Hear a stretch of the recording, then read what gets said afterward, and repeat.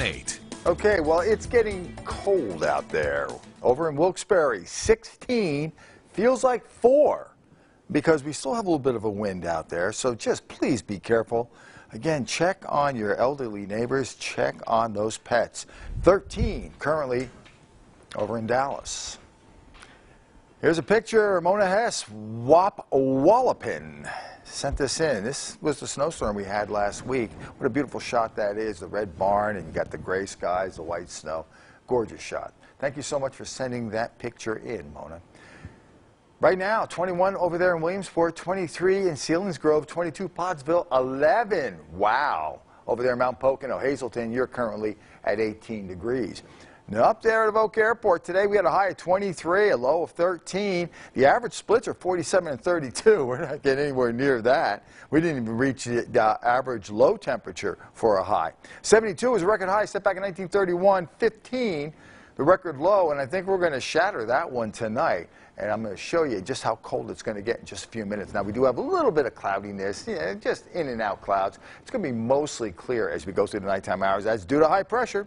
But that high pressure is going to start to slide down to the south and east. And as it does, we'll start to get into a southwesterly flow. So that the brutal temperatures will go. We'll be in, well, I think for tomorrow for shopping, we'll be in the low 30s and mostly sunny skies. Not bad at all. But then Saturday, the wheels fall off. We're going to see the clouds increase. We have a chance of showers by later in the day in the afternoon, and some of the rain overnight could be heavy at times. Once that pushes through, Sunday looking pretty good. We start to clear out, mix of sun and clouds. Temperatures back up in the mid 40s, and then Monday we have another system coming through, and that's going to give us some rain. Some of that rain could be heavy at times, and we could see a little bit of wraparound snow at the end of that storm. But for tonight, mostly clear, bitterly cold. We're going to be looking at lows getting down into the single digits throughout the area. Please be careful if you're out there driving tonight.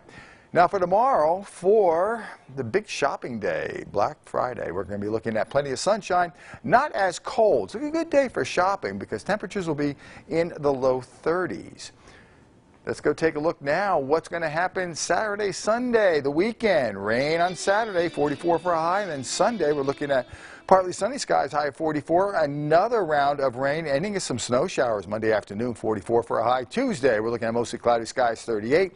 Scattered snow showers on Wednesday. We're back in the mid 30s, though, Candace. And then Thursday, we're looking at 38 for a high with partly sunny skies.